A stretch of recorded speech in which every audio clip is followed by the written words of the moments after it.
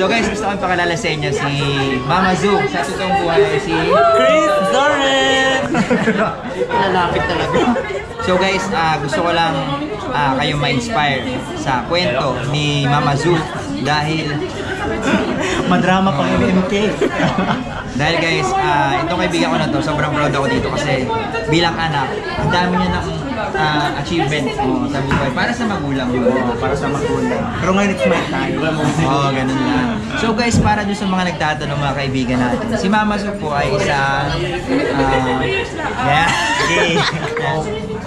Siyempre anak, um, una, as in mahirap talaga kasi manilibaw ka sa lahat ng culture eh.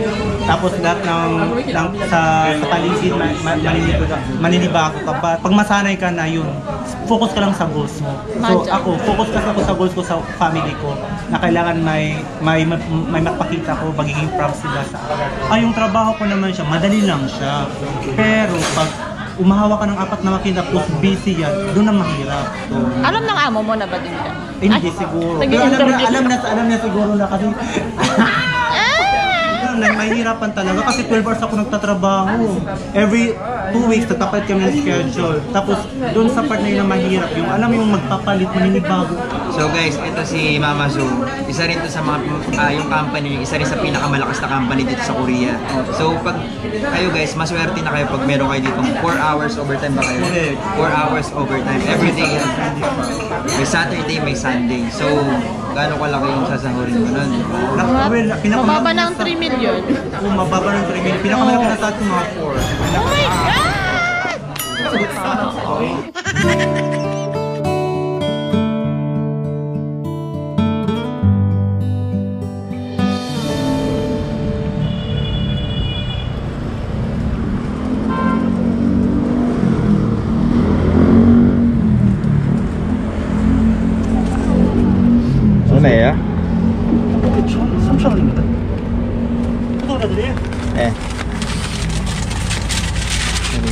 2,000 여기서 주세요 오. 감사합니다 So guys, bumili lang tayo ah. So guys, andito tayo ngayon sa Ojungbu Napakaganda guys no? Tingnan yung paligid oh Diba? Napakaganda So ngayon guys, araw ng Sabado, eh wala kaming pasok. First time na mawala kami ng pasok ng Sabado at Linggo. So, meron tayong tatagpuin. Ah, meron akong gusto ipakilala sa inyo. Ah, kabatch ko siya papunta dito sa South Korea. So, after 5 years guys, ngayon lang ulit kami magkikita. At talagang sobrang busy ng taong to. Ako din busy din ako. So, excited ako na magkita kami ulit. At gusto kong ipakilala sa inyo to guys kasi sigurado ma-inspire din kayo sa kanya. Kasi sobrang galing nito sa pera. So, isa din to sa mga kakilala ko, mga kabatch ko na talagang sobrang marami na ring ano, ah, achievements. So, nakapagpagawa na rin siya ng ah, bahay nila. At basta guys, hingi tayo ng tips sa kanya kung ano yung mga ah, paano yung paraan niya na pag-ipon. Syempre dito sa Korea, marami rin luho, 'di ba? So, mamaya guys, kita-kita na lang tayo. Ayan guys, yung Ujong Bus Station. Ayan yung Sinsig eh. Ayan. Tingnan nyo guys kung gaano kaganda. Hey, darling, can I tell you what's been on my mind? Sick and tired of the nine to five in the city light.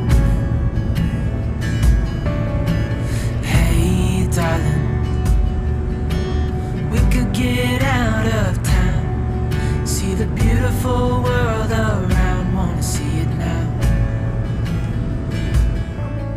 po. Nandito tayo sa Ensadong State sa pinaka, pinakasikat dito ngayon sa Korea. Marami mga foreigners dito kasi you can Wow. buy anything here. So yung yung pupu sa Korean ay dong. Yan, yan, dong. Yung dong cafe. So guys, pupunta tayo dun sa may famous na cafe na puro siya toilet. Tapos Oh, yung mga serving nila. Yan, pupunta tayo doon. So, Ganito yun. Punta pa yung nami. Ito parang namin na rin to. Namin ay. Layaan na eh. Mm. Wala pa tapos na kasi yung autumn. We're going to one na.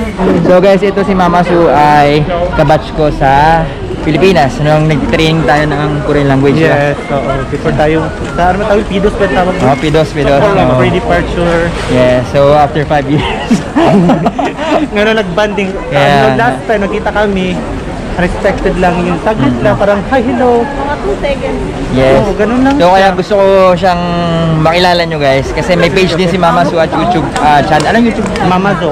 Mama Su. So ito yung YouTube channel niya. Tapos yung page niya, ito din. Ayan.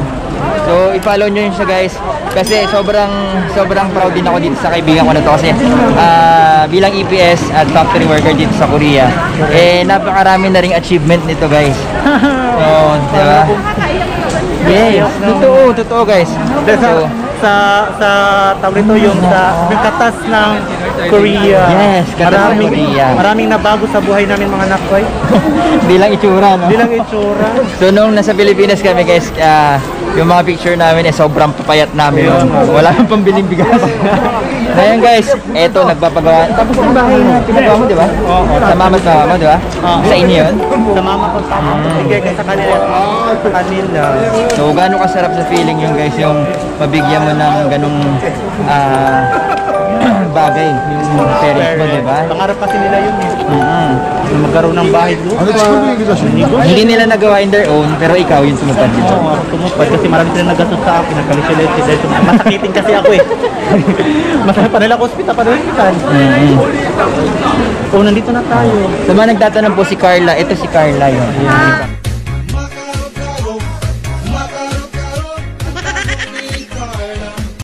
KLT 13 din si Carla. Tahong ni Carla. Hindi yun. Iba yun. Hey, darling, can I tell you what's been on my mind? Sick and tired of the nine to five in the city life.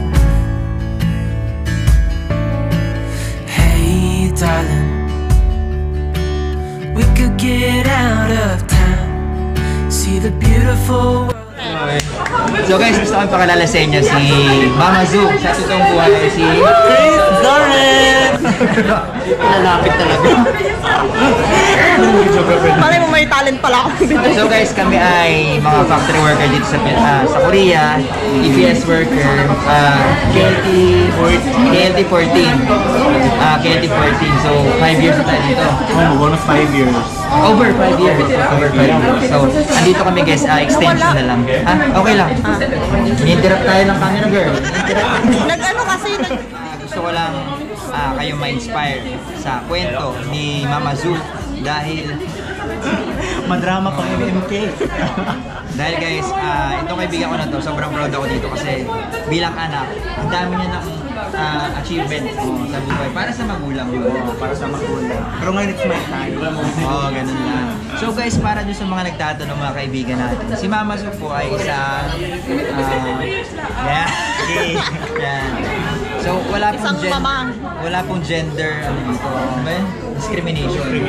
Dito pag nag-apply ka sa Korea guys, kahit na ikaw ay lesbian, gay, wala pong problema. Okay lang as long as maipasa mo yung exam. Okay. Tsaka may skills ka talaga. Fruchi. Yes. So, Mama Su, bilang 5 years ka na dito sa Korea, ano yung ano, ano yung masasabi mo sa pagstay mo dito at yung opportunity na ano din? Ako, siyempre anak, ah, una, as in, mahirap talaga kasi manilibaw ka sa lahat ng culture eh. Tapos lahat ng, ng sa, sa paligid, ma, ma, manilibaw, ka-. But times goes by, I enjoy anak. Kahit napaka-stress yung work na yun, pero kailangan mag-enjoy. Ah, give time yourself, treat yourself, and love yourself. Para wala tayo magkaroon tinatag na homesick. Kasi minsan kasi marami nag-give up dahil sa homesick na eh. Yung alam mo yung natatakot na sila sa sa sa, sa, buhay. Pero pag masanay ka na yun, focus ka lang sa goals mo. So ako, focus kasi ako sa goals ko sa family ko na kailangan may may may magpakita ko, magiging proud sila sa akin. Yun. Marami marami na bago sa akin at I'm very thankful sa katas ng wisdom. Pero yung ano, yung, yung trabaho, kamusta yung trabaho? Kamusta yung trabaho mo? Ah, yung trabaho ko naman siya, madali lang siya. Pero pag umahawa ka ng apat na makina tapos busy yan, doon na mahirap. Kasi na kami, um, cosmetics, mga takip lang kami, mad- madali lang siya. Makina, makina yun. Oo, makina siya. Yung Hindi ka naman, injection. hindi ka naman nagbubuhat. Hindi. Hindi Ah, nagbubuhat ako pag mga 20 kilos, pag nagpapit ng mga Paano ka nagbubuhat? Ako. May ungol. Natawa nga ako nung una kong pagdating doon, sabi ng kaibigan ko, unang Filipino, sabi niya, "Uy, huwag ka magpahalata na po ang kahana. Na, ano? Pero sa, sa mga Koreans, wala naman silang ano, wala naman silang gender discrimination. Uy, Oo, wala kasi, a- actually, doon na patunay na wala sa gender discrimination. Kasi pag maging totoo ka lang, kasi I have a lot of friends, hindi nga pala sa Pilipinas pala. So, nagkaroon ako ng confidence na na, ah, okay lang pala dito. Alam ng amo mo na ba din ka? Eh, Hindi siguro. Pero alam na, alam na, alam na siguro na kasi, love na lang ko kasi siya magwapo mo kasi. pero hin- hindi ka hindi ka hindi ka naman nahirapan sa ano, hindi ka naman nahirapan sa trabaho mo kasi yung, yung trabaho mo ah uh, panggabi trabaho mo. Oo, totoo. Ang una na kasi nahirapan ako kasi kahit kahit sinasabi ko na alcoholic ako, workaholic, pala di alcoholic, hindi ako parang inom. Workaholic I mean. Ayun. Una na mahirapan talaga kasi 12 hours ako nagtatrabaho. Every two weeks nagpapalit kami ng schedule. Tapos doon sa part na yun na mahirap, yung alam mo yung magpapalit, maninibago ka. Kaya ang ginawa ko, yung kwarto ko dinilim ko para pag mukhang gabi pa rin siya. Doon ako mahirap. Doon ako na ano, talaga sa sa sa yagan suga nila tawag. Like Shiva saka So guys, ito si Mama Zo. Isa rin to sa mga ah, yung company, isa rin sa pinakamalakas na company dito sa Korea. So pag kayo guys, maswerte na kayo pag meron kayo dito 4 hours overtime ba kayo? Correct. 4 hours overtime every day. May Saturday, may Sunday. So gaano kalaki yung sasahurin mo nun? na, well, pinaka Mababa ng 3 million. Kung mababa ng 3 million, pinakamalaki na sa atin mga 4. May Oh my God! Oo, pinakababa ko na talaga 3 million. Pero pag hindi talaga ako mapasok ng Saturday Sunday kasi marami ako una in, gusto ko magtrabaho. Pero alam yung nakuha mo na lahat. Parang Normal na lang. Normal na lang siya. Sabi ko, ayoko na magtrabaho. Gusto ko na mag-chill-chill kasi na go, at times go. Masarap mabuhay. Siyempre kasi kailangan mo rin bigyan ng comfort yung sarili mo. Totoo Kagaya yun. ngayon, Oo, ginagawa natin. Oo, diba, expected na kita kami ni Ana. Kasi may mga pinagdadaanan kami sa buhay. oh, tayo pala, proud din ako sa kanya kasi isa na siya sa mga magaling na mga vlogger. Vlogger. I'm so proud of you. Pinalaki ko yan siya ng maayos. Ligatas yan, anlim. So Pinapagatas. ganito, kasi masyado na kami maingay guys. Siyempre nakakahiya naman sa mga katabi natin. No? Pinagtitinginan tayo eh. So ganito. Dito guys, sa isa to sa mga kaibigan ko na talagang malaki yung sahod dito sa Korea. So, para baka kasi isipin nila lahat na lang ba sa Korea malaki sahod. Bakit may ibang nag na hindi naman ganun, hindi naman lahat. So, ikaw na magsabi sa kanila na swertihan lang talaga. Also guys, actually maraming nagsasabi na yung basic lang talaga is mga something 80,000. Pero pag mag-work ka ng 12 hours and then may may panggabi ka and then mayroong Saturday Sunday, yung maabot talaga ng mga 130,000 pesos. Nakakalula talaga. Oo, nakakalula talaga siya. Kaya nga, yung, alam mo, pag makakuha na ako ng ganung klaseng sahod na, doon tinitit ko yung sarili ko. Pero pag alam ko yung hindi ako mapasok, less expenses din ako. Kasi kailangan natin masarap mabuhay na ako eh. Enjoy lang yung life. Guys, na. Pang ilan iPhone mo na to? Dalawa. Dalawa Kasi na, na. Ninakaw yung Pangatlo isa. na yan kasi yung jowa niya binilhan niya. Uy, grabe ka sarili. Actually guys, swertihan lang talaga. Swertihan lang talaga. Pag pumunta ko sa, sa kumpanya, kumpanya na as in, grabe talaga yung trabaho talaga. Yung, ano yung sagad na sagad talaga. Minsan isang buwan, isang, isang, isang off lang ako. Naka-stress yun. Kaya ginawa ko anak, yung baga ko ng may appointment ko ako sa dentist, kaya tapos na. Kaya chill-chill lang. Di naman ngayon, unexpected. Kasi nga, mag-enjoy lang kami. O ganito, ah guys, para dun sa mga nawawalan ng pag-asa at mga tinatamad na mag-aaral. Di ba? So, ang hirap pala dyan sa Korea makapunta. Ang tagal pala, walang kasiguraduhan. So, ano masasabi mo sa kanila? Actually naman talaga, na kung faith mo talaga makapunta ng trabaho at saka meron kang willingness ngayon, kung makakapunta ka talaga, pero kung ikaw pa chill chill chill ang mo kung Korea, tapos hindi magbabasa, Reklamo. Reklamo. Oo, panay- reklamo ka mag-aaral, hindi mo sinubukan. Guys, yung tao, pag hindi mo sinubukan yung isang bagay, doon ka magsisisi. Try ka dyan sa isang bagay na kaya although alam mo na napakahirap, ako nga, mga one year din ako nag, nag, nag-aral. Ano? Oo, taon kami. Isang taon kami nag, nag-aral, hindi lang yung pa-chill chill chill ka lang. kailangan masubukan to. Oo, sinasabi mo, more, more pain, more gain. Exercise na ginawang gym. Oh, si Carla. Si Carla guys. No pain, no gain. So yun guys, ah kung gusto nyo talaga mapunta lang po at gusto nyo sumahod talaga, mabago yung ah, future nyo talaga, no? Grabe guys, kasi malaki na bago talaga. Saan ka ba makakakita na sumasahod ng 100,000 plus? Eh, talo pa yung Lloyd. Ang buhay, ang buhay natin dito, routine natin, kain, tulog, trabaho. Oo, totoo yan. Ganun lang talaga, kailangan mag-sacrifice. Oo, sacrifice talaga. So yung mga nagreklamo matagal, mahirap daw, wala, mas lalo maliit yung chance nyo na mapunta. Kasi dapat mag-set ka talaga ng goals pag pumunta ka Ano yan? More pain. More pain, more No gain. pain, no gain. Mali-mali pa. Ano, no pain? No pain, no gain. More pain, more More pain, more gain. So yung guys, ba't papalabas na kami dito? So kailangan na talaga subukan. Kailangan nyo na subukan. Subukan nyo guys. Subukan nyo, please. Yep. Kasi pag hindi mo subukan, hindi mo masasarapin. Hindi mo malaman. Hindi mo malaman. Hindi mo malalasahan. Iba yung masarapan. Bakit? subukan nyo guys. Mag-Korea kayo. Please lang. Mag-aral kayo. Oo, totoo, totoo. Malaking, malaking, malaking, malaking bagay. Kasi 3 months pa lang ako dito. Naka, naka-invest agad ako. Binigyan pa agad ng sari-sari sa mga mother ko. Di ba? Bahay, sari-sari store. Lupa. Gano'ng kasarap sa feeling yun? Ang sarap yung nakaka-proud. Uy, lalo pa makita mo yung bangko may savings ka. Kailan ka, kailan ka unang, unang naging proud sa sarili mo na yung sabi mo, uy, hala, ako ba to? Ah, yung Ganun, di ba?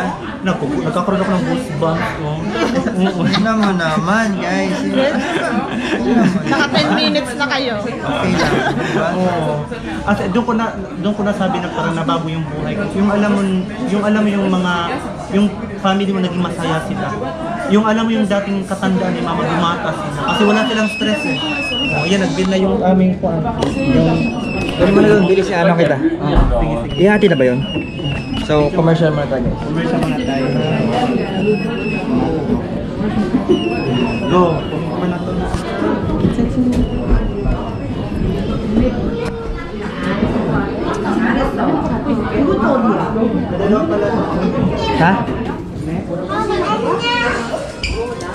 Sige. Okay na, kayong dalawang mano.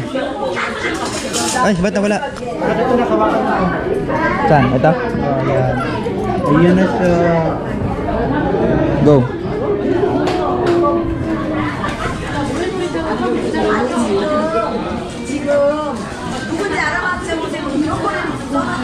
Slowly, madulas.